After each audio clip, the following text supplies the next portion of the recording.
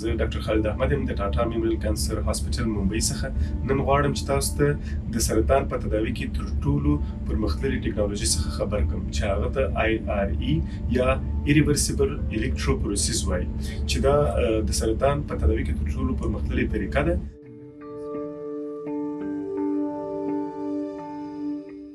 د برق یا د ډي سي کرنټ په واسطه سره سرطان د منځه وړي چې په هغه کې موږ نانو نایف د سرطان په حجراتو کې اجدو او هغه د دې سبب کیږي چې د سرطان د حجرو د دیوالونو کې سوري پیدا کی او هغه ته اوبه دننه سي او هغه لومړی دا د ریورسیبل پروسس منځ ته راوړي چې په هغه سره ریورسیبل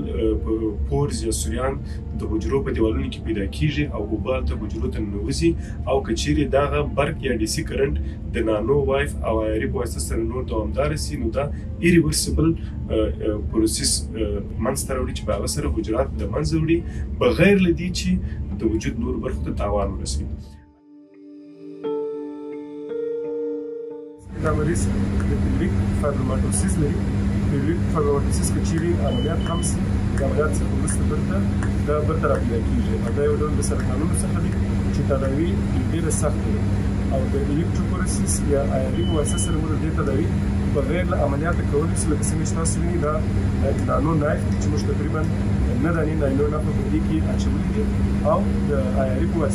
سره دا ټیومر هلته دننه وژني. عیاري عموما په هغه سرطانونو کې موږ استعمالوو کوم چې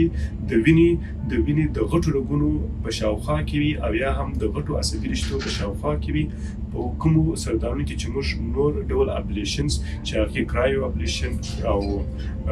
رادیو فریکونسي ابلیشنز دی هغه نو استعمالولې د دې د بیري چې هغه عصبي رشتې هم د منځه ویسي او د وجود هغه لوی د وینې شریانونه به هم د منځه یوسي دغه هغه د وجود تر ټولو غټ شریان او دغه هم د سلیک اکسس دغه څخه راوځي او دغه په شخوا او شا کې سرطاني سرطاني حجرې دي کوم چې موږ په هیڅ ډول سره نه عملیات کول سو او نه هم عارفه کول سو ځکه چې عارفیه او کرایبلیشن هم ډیر زیات خطر لري چې دا دغه غټ شریان تاواني کې او د ویني د بهیدلو سبب وګرځي او د انسان د مرګ سبب وګرځي نو په دغه مریض موږ تقریبا نه دانې نانو نایف چې د ایاري